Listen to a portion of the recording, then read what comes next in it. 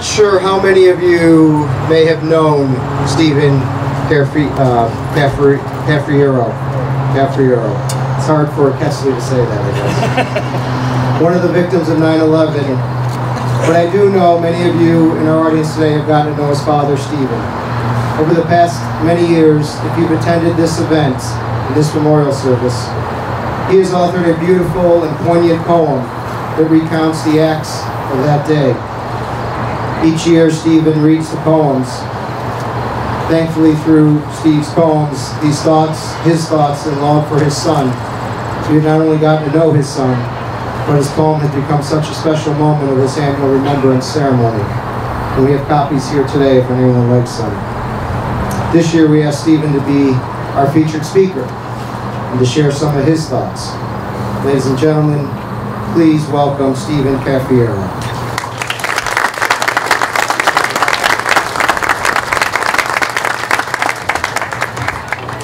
Thank you, everyone, and thank you all for coming. Oh, it's been such such an honor to come here every single year. You know, this was the first year since the Freedom Tower was built that I went down there. The first time. Did you ever hear of a coincidence?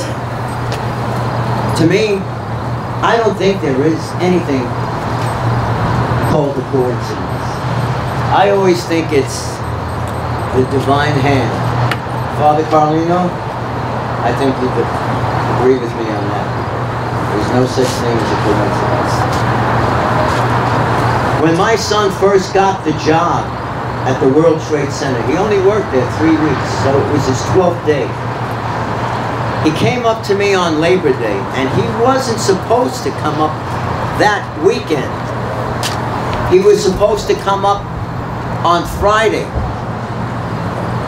Tuesday was September 11th. That was God giving me my son for the last time. Coincidence? I don't think so. So this year when I had the honor of presenting the 9-11 memorial and the museum with a poster of my poem, they accepted it gladly. And then I went over to ladder 10, and I'm sure you firemen, police officers know about ladder 10. Those fellas were glad to accept that poem and were truly honored. I had lunch with them, and we shared stories that day. And my poem now also hangs in ladder 10, which you probably have right now. So, was it a coincidence? I don't think so. And I've never been down to the baths where the South Tower once stood and the North Tower once stood. I asked a buddy of mine who's the fire commissioner, which you fellas know, Gary Boomhauer. I went down there on a tour bus. We both went over towards the baths. And I said, Gary, is that where my son Stephen's name is? He says, it's out there. And as I walked towards where the South Tower stood, I laid my hand down to rest. And I wanted to try and find my son's name. Guess where it was? Right down here, where my hand was. Coincidence? I don't think so. Then inside the museum, I've never been inside the museum before. On one of the walls was about 60 pictures of the faces of victims and it flashed and it faded. Flashed and 60 more. Flashed, faded, 60 more. As soon as I walked over to where the pictures were, I said, Gary, there's Steven's picture. And it faded. And a group of 60 more appeared. Coincidence? I don't think so. My son is with me, and always will be. And I truly believe that. Don't you, Father Carlino? Amen. Right now, ladies and gentlemen, if I may,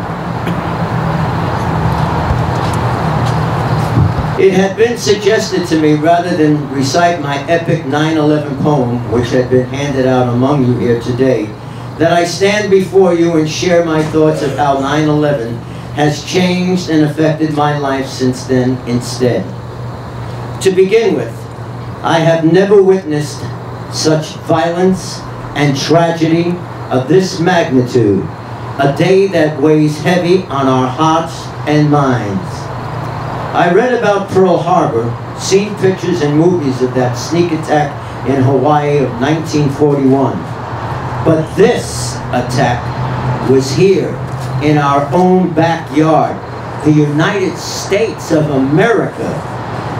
The aftermath has certainly most definitely made me weary of my surroundings, especially when I board a plane or cruise ship and I encounter a Far Easterner wearing a turban, I can't help it. I fear. I'm sorry, but I fear. When I sit and relax in the privacy of my own home to watch a football game and see one of the star players refuse to stand during the playing of our country's star-spangled banner in a most disrespectful disregard of our country and what it stands for. The frequent occurrences of innocent police officers being shot and killed for no apparent reason. Soldiers at Fort Hood also killed in the name of Allah.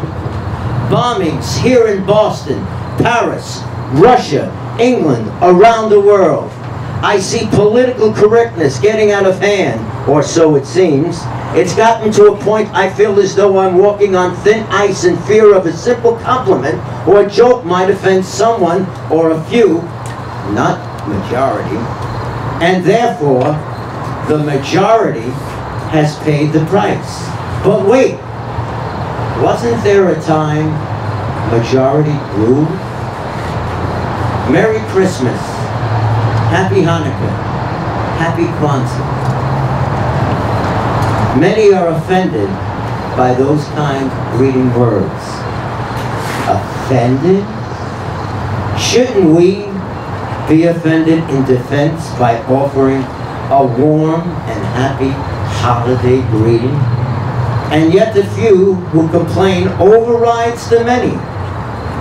God out of the Pledge of Allegiance. In God we trust they're complaining. Hmm. Our department stores and schools no longer greet you with Merry Christmas, Happy Hanukkah, or Happy Kwanzaa. Christmas trees are holiday trees. Will it get to the point of changing books and movie titles, such as A Christmas Carol, A Christmas Story, Christmas in Connecticut? Will they target the music industry White Christmas, the Christmas song, and I'll be home for Christmas, etc.